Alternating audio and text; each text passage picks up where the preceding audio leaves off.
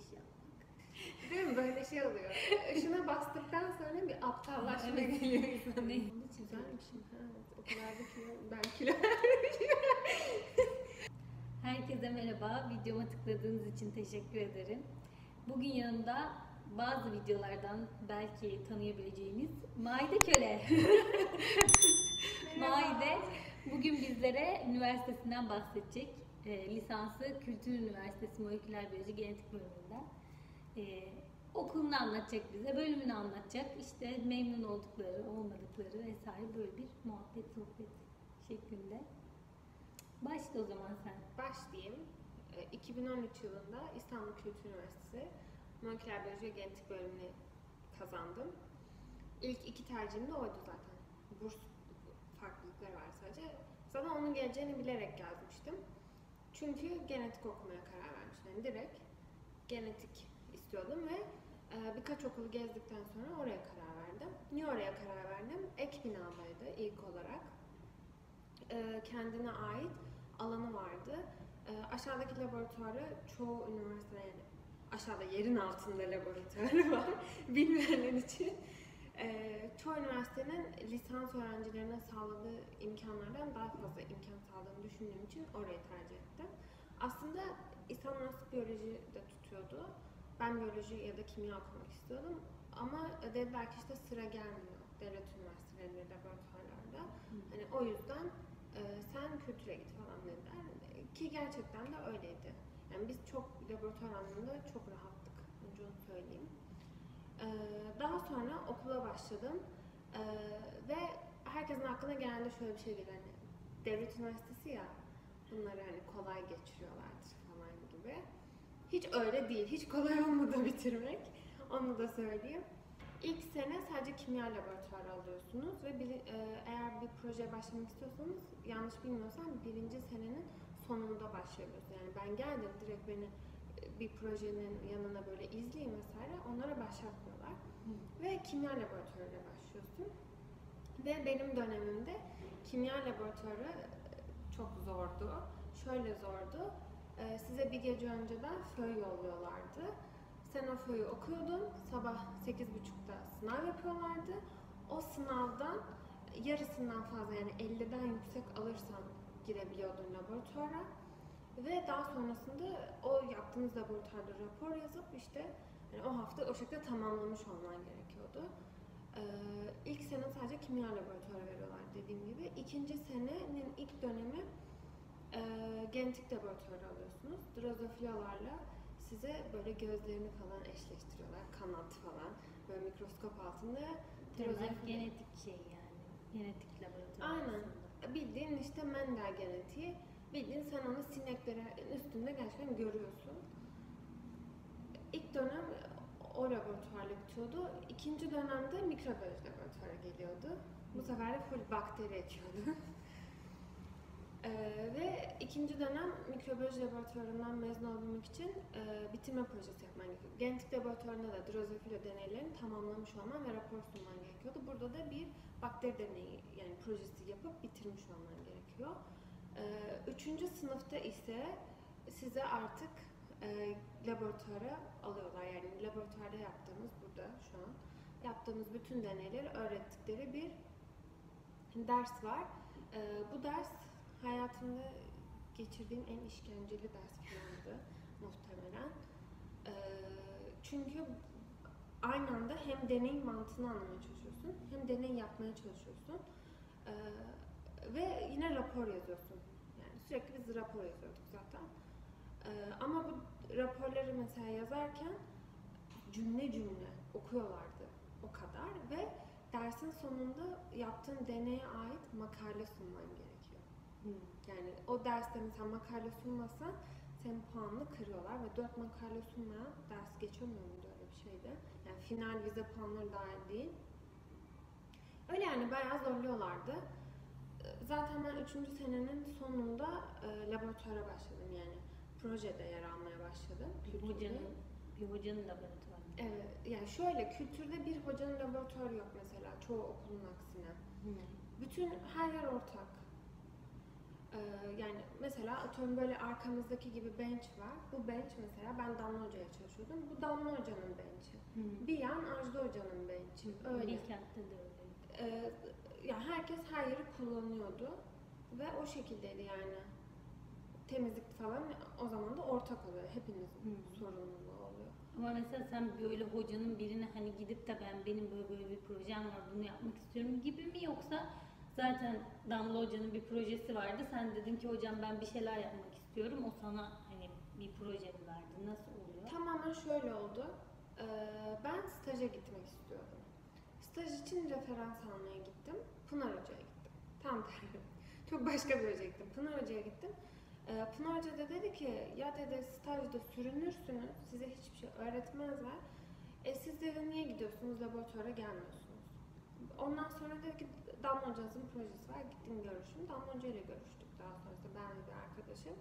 Damla Hoca ile görüştük. Damla Hoca da hani aynı şeyi söyledi. Dedi hani stajda sizi hırpalarlar ama burada öğrenirsiniz şeklinde. Ve gerçekten de öyle oldu.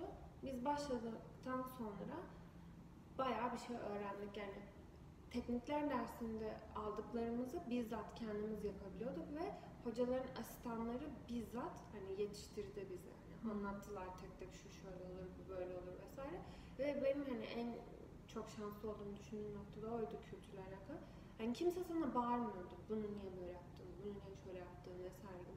Ben ince cam kırdım, Western camı kırdım mesela. Kırıldı gitti yani. Çok pahalı. Çok pahalı bir şey ve hani o hafta da uyardılar. Dediler ki bakın bizim az kaldı ve biz bunları tedarik edemiyoruz. Hani lütfen dikkat edin. Ben de Allah gitti ertesi gün öyle. Dedem benim elim falan titriyor böyle. Millet falan böyle herkes başına böyle bakıyor öyle. Ay şey cama. E ben gittim söyledim hocam dedim böyle böyle oldu. Hoca dedi ki tamam dedi dikkat ederiz bundan sonra dedi. Hani kapandı konu anladın? Ha, illa ki biri sana kızabilir. Yani ters anla gelebilirsin bir şey olur. Mesela hücrelerim ölmüştü. Hoca çıldırmıştı haklı yani. Böyle stres altında petri dolmuş. Ondan sonra hani artık demiş yuh artık falan diye. Çıldırmıştı o ayrı bir konu ama hani bir hata yaptığın zaman istemeden kimse sana gelip şey yapmıyor.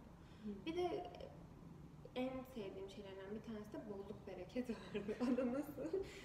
ya bir falcon mesela hani tek kullan at. Hani bir daha onu falconla şey yapmıyorsun işte petri istediğin kadar kullan at. Kimse sana bu petriler nereye gitti, bu şey ne oldu, bu enzim nerede demiyordu yani.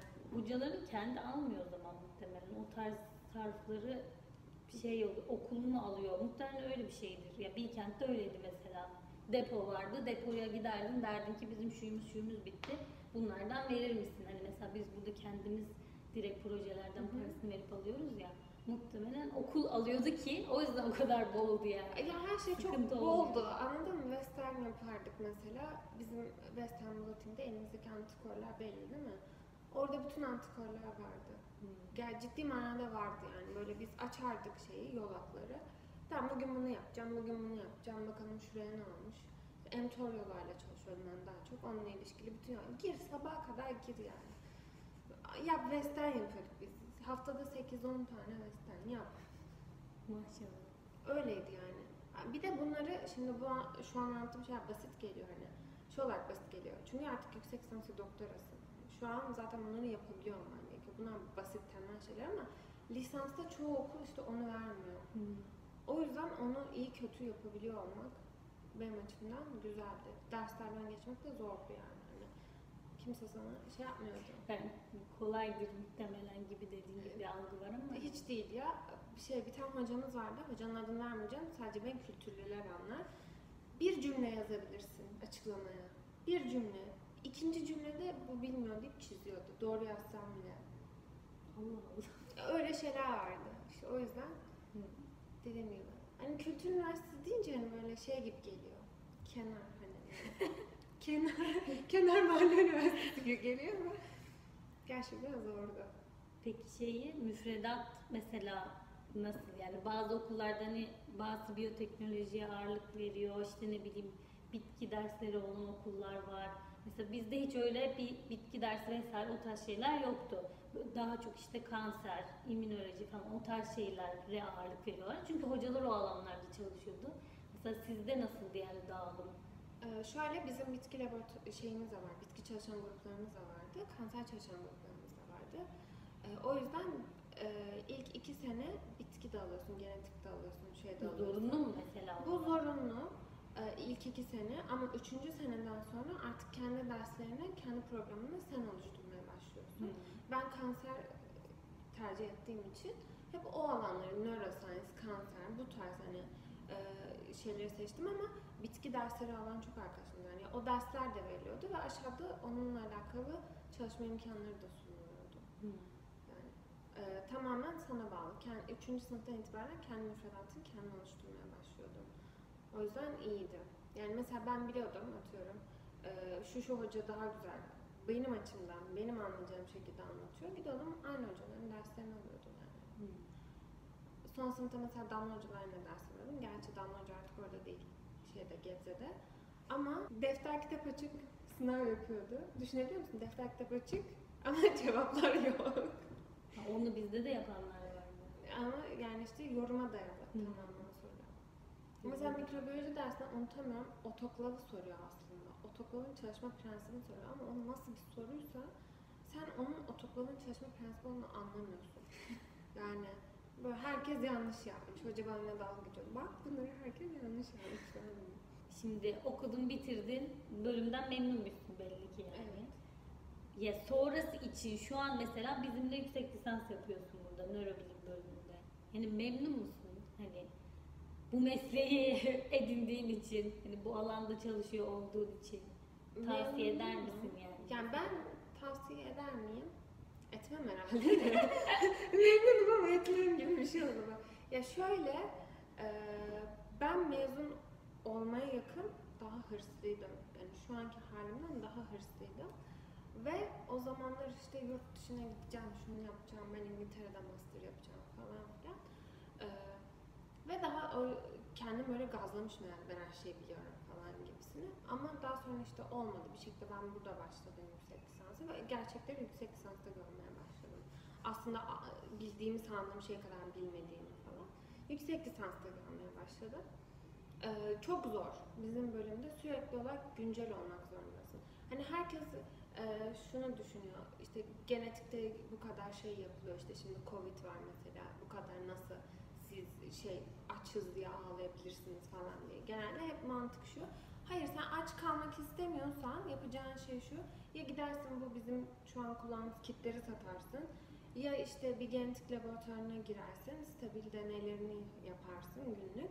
Ya O şekilde ilerleyebilirsin. Ama sen ben ben teknisyen değilim, ben o satıcı değilim, ben gerçekten bilim yapmak istiyorum diyorsan o zaman seni e, normal bir bireyden iki kat daha sancılı bir süreç bekliyor. Sancıyı çekebilecek misin? O yani mesele aslında o. Çünkü dil bilmen gerekiyor. Ben hala dil öğreniyorum mesela. Yani 25 yaşındayım hala unutuyorum çünkü 3 gün önce kullandığım kelimeyi 3 gün sonra hatırlamıyorum. Ya sürekli e, günlük dili, şunu bunu hepsini kullanıyor olman gerekiyor. Akademik dili de kullanıyor olman gerekiyor bunun yanı sıra. Onun dışında sürekli kendini deneysel olarak güncel tutuyor olman lazım. E, bir, normal bir PCR yaptığım ya da normal bir western yaptığımda bitmiyor iş.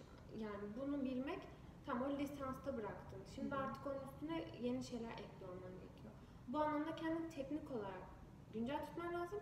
Bilgi olarak temel bilgileri kafanda iyi oturtup güncelleri onun üstüne her gün ekliyor olman gerekiyor. Çoğu insan şu an bu videoyu izlerken şey dedi ya ben zaten kazanayım kesin yaparım. Hep, hep, herkes mükemmel anladın mı? Herkes harika ama hiç öyle olmuyor. Sen burada 8 saat 9 saat çalışıyorsun. Eve gidiyorsun makale okuyorsun. Eve gidiyorsun ders çalışıyorsun. Hani ben, ben rüyamda bile deney yapıyorum bazen. O kadar. Cidden öyle. Bazı hafta sonları bile şey gibi ben bunu lisansta çok yaşıyordum. Hafta sonu olsa da ders çalışsam. Hani çünkü bir şeyler birikmiş ve benim onları çalışmam lazım. Hafta sonu olsa da ders çalışsam. Evet. Bu lisans bitince bitecek zannediyordum ama bitmiyor. Hayır. Ya şu anda öyle yani. Şu anda hala mesela listemde defterimde yazıyor. Şunu yapacağım, şunu yapacağım, şunu yapacağım ve bunları yapacak gerçekten hafta içi bir vakit kalmadığı için ben mesela hafta sonunu bekliyorum. Hafta sonu yapacağım yani. Ve bunları yaparken sosyal kalmaya çalışıyorsun. Bir de o var yani. Çünkü sosyal hayatını da korumaya çalışıyorsun. Arkadaşınlar hep sana trip atıyor. Sen üç aydır benimle görüşmüyorsun. Sen nasıl insansın falan diye. Hani anladın mı? Gün 24 saatse sen 25 saatlik iş yapıyorsun aslında. O yüzden de dediğim gibi hani dünyaya bir daha gelsem kendimi bu kadar yıpratır mıyım? Temel soru bu aslında. Tavsiye ediyor musun değil. Dünyaya bir daha gelsem ben kendimi bu kadar yıpratır mıyım? Ama yani ve sonuç olarak bir de şey var. Bir insana baktığın zaman e, geçen gün bu konuşulmuş, oradan kaldı kafamda. E, o kişi mesela ne kadar laboratuvarda çok iyi atıyorum, bütün deneyleri yapıyor şu bu ama o kişi gerçekten fikir üretebilir mi? Gelecekte fikir üretebilir mi?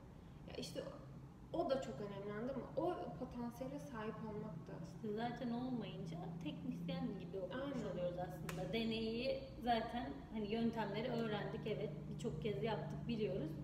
Sadece yöntem yaptığında deneyin sonucunu aldığında bu teknisyenlik gibi Aynen oluyor. bu sadece teknisyenlik, onu yorumlayabilmek, onun üstüne bir şey söyleyebilmek. Yeni bir şeyler üretebilmek, fikirler Yani üretebilmek. bu, burasının her gün böyle çalışıyor olması. İşte yani beyni çalıştırmak Bir de daha da komiği. Bu burası bitti ya. Bu bitmiyor. Az önce aşağıda konuşuyorduk. Adamlar diyorum analiz yapmışlar, bilmem ne yapmışlar. Şimdi benim de o analizi yapabiliyor olmam lazım. Anladın mı? Bütün genlere bakmışlar işte gen ekspresyonlarını işte şey bir tablo çıkarmışlar analiz yöntemiyle. Şimdi onu benim de yapabiliyor olmam lazım. Bu ne oldu? Multidisipliner oldu. O zaman sen gidip başka disiplinlerden de alacaksın, bileceksin. Ne oldu? Vaktin yok. Hadi bakalım. Allah. Yine dertlerdik. Allah. Geçen ilk bir senem özellikle hiç oturup şey yapmamışım ya. Burada ne oluyor ya? Bu deneyler hani biz yapıyoruz dur şunu okuyayım vesaire. Hep orada eksik kalmışım. Birinci senenin sonunda ben bunu arttırmaya, kendimi teşvik etmeye başladım. İşte o yüzden dediğim gibi yani sancılı bir süreç, akademik kariyer. Oha 20 dakika olmuş. Bir diyecek bunlar nerede? Teşekkür ediyoruz. Maide Teşekkür ederim. Dinlediğiniz sütünden, her şeyinden yararlandığım için Maide Köle diyorum kendisine. Canım alınmasın. Alıştı bana artık zaten. O zaman e, teşekkür ediyorum. Ben bir teşekkür sonraki videoda görüşmek üzere. Kendinize iyi bakın. Görüşürüz.